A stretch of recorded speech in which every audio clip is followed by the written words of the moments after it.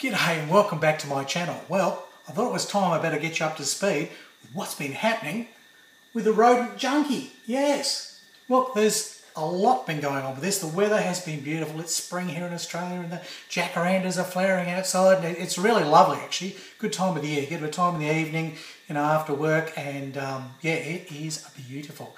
So I might as well give you a little slideshow and I'll talk you through where I've got to and then I'll show you how this kit's coming together because it has been really sweet. I've loved it. Here we go.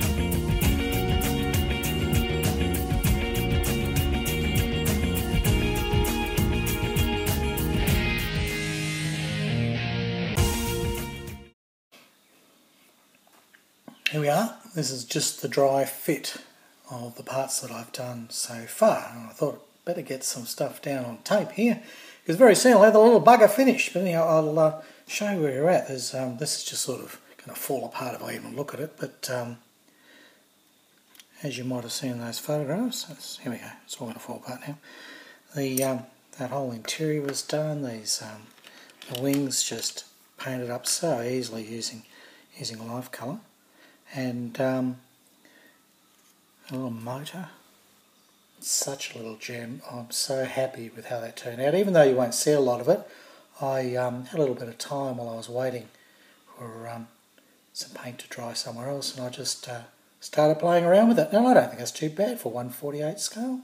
You know, you might see a little bit on that side, but um, that's more foray into. Uh, super detailing mode. Well, I didn't put any spark plug leads on or anything like that. Don't know if that's um, if that's needed. But there you go, she's pretty. So that's the motor, but um, fuselage, the thing that uh, that was quite uh, quite easy to do. I was quite surprised. Okay, see everything falls off. Nothing's fitted. Oh, these junkers aren't built very well, are they? Look at them. Bloody things fall a bit. So there you can see the um, how I've done the silver, well, aluminium, you know, aluminium and um, that should actually all be corrugated on the inside there. That's one thing I haven't done, but look, you'll hardly bloody see it, so who cares? So, you know, that's all done. Um, the little seats fallen off. It was hard to know what to do with this seat, really. It, it looks like it's made of, um, of the same corrugated metal as the other things, and the uh, indication was to make it all silver, but it didn't look right when I did it that way, so I sort of did it as you would a sort of wicker seat or something like that. I, I with washed it with a brown and gave it that sort of look. And that seems to work nicely with colour palette once it goes back into this lovely little cradle. And that came up a treat. I've still yet to do some work. I've got to do the um, little dash here. There's some little bits and pieces I'm going to put in there uh, because I've got that Tom's Model Works um, extra PE that I bought by mistake for when I was doing the, the piffle, the, uh, the arrow. I bought uh, German interior and it turned out to be World War One instead of World War Two. But that's perfect for what I need here. So let's have a look at what's on that, and I'll also show you those lovely 3D molded uh, machine guns. So this is the uh, PE from Tom's Model Works. It's quite lovely. It's, it's little. I mean, there's my finger, you know. But I uh, could have used the seat from there, but I was happy. But really, all I want from this are the seat belts, and I'll use um, there's um, the little um, flap hinges. I'll use those as well. Might put a couple of the interior pieces in. There's quite a few of those, and there's instrument bezels and things like that. There's some tiny things in here that might be useful. Certainly, there's um, these are prop. These go over the front of the props. So you know, there's odds and sods in here that I might that I might use. Might as well. Got it and I don't really need it for any of my other 148 scale kits which uh, sort of Eduard ones already have PE.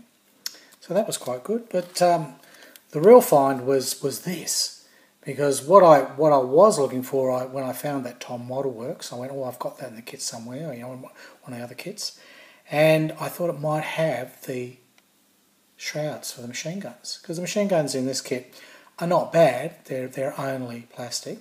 They're not bad, but I thought, oh, it'd be nice to put PE ones on like I did for the um, for the, tri- the triplane, the DR1. And um, no, they weren't on that Model Works thing from Tom's. It was only the interior. So I went online looking for the PE shrouds because you can usually pick those up for about a shekel in an Eduard kit. And you get all that, and it usually gives you all the paraphernalia. Well, they were sold out, but this the same price. Well, eleven dollars, one point one shekels, ten percent more. And why wouldn't you? Why wouldn't you go with these? Aren't they gorgeous?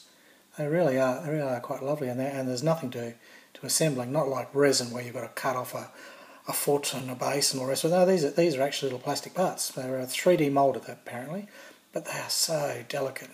So we'll get those sort of machine guns sitting on the top of our rodent, our junkie, um, and I think that's important because without having the top wing, they'll be very prominent.